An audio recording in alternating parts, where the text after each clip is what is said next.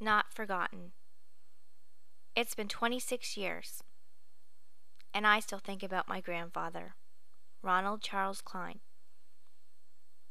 My father was even named after him, Charles Jeffrey Klein. He passed away when I was only six years old. I really can't remember much of him.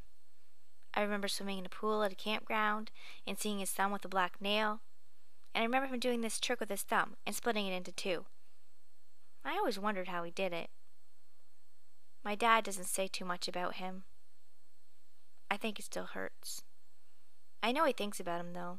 He's fascinated by movies and documentaries about World War One and Two, and he has an army helmet in his garage, and he claims it's authentic, bullet dent and all. My grandfather was in the Second World War. He was one of the fortunate ones. He came back alive. Just thinking about what he did and lived through brings tears to my eyes. I don't want his sacrifice to be in vain, so I talked to my own son about how his great grandfather had risked his life years ago so that today we can be free. Just a few months ago, my son used his birthday money to buy an army helmet. He assured me that he didn't want to be in the army. It's okay, Mom. Nothing's going to happen to me. My grandfather moved from Great Britain and worked in the United States after the war. He then moved to Canada so his son would not face a draft and endure the coldness of war.